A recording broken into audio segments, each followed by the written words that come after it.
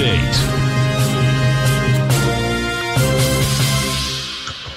Hi everyone, Basil Chapman. This is the 11 o'clock Eastern Time Tiger Financial News Network. Let me just get this out the way.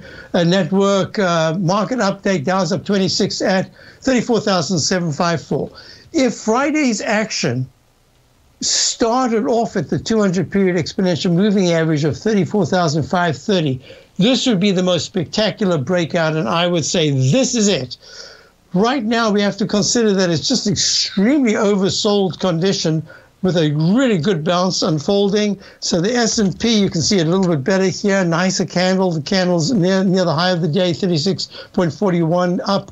40, 44.67. The high was 44.72. This is the kind of candle you want to see. And here again, I would have wanted to see here on the left. You see the takeoff. Yeah, you can pull back afterwards, but that fourth session after the takeoff like Monday a week ago at 42.22.62.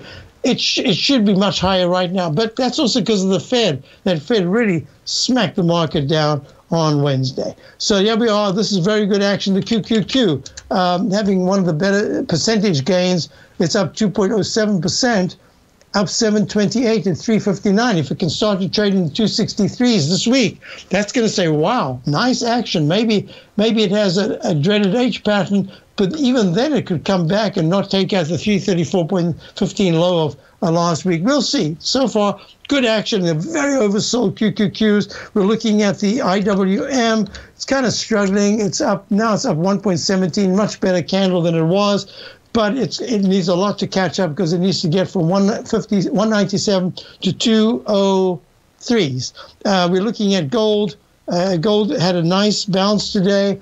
Uh, it's now given back some. It's up 10. That's okay. 1796. Just trying to form a base in the 1780s. The dollar is pulling back a little bit. It's the TLT that we want to consider here because it's down. Bonds are down 56 cents. Uh, 142.58, the TLT, Treasury Bond Fund and that's allowing the yields to go higher. And that's kind of helping a little bit, helping the XLF, but the XLF, the S&P's financials need a lot more. They need to be going from 38.69 right now up into the 39.50s and very quickly. And you're looking at crude oil. I, am really, I, I, might be wrong, but I, am thinking crude oil is just ready for a little bit of a pullback, maybe maybe more time than price. You're going to be watching that one closely, up 42 at uh, 87.24 up near the highs. So I don't know, we talking maybe I'm talking nonsense here. And as I said, the VIX index, watch the VIX index?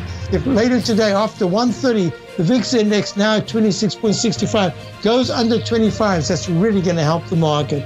So it's a very important session, end of the month. We'll see what happens going into tomorrow. Have a wonderful day. Stay tuned for Larry Pesavento and great program.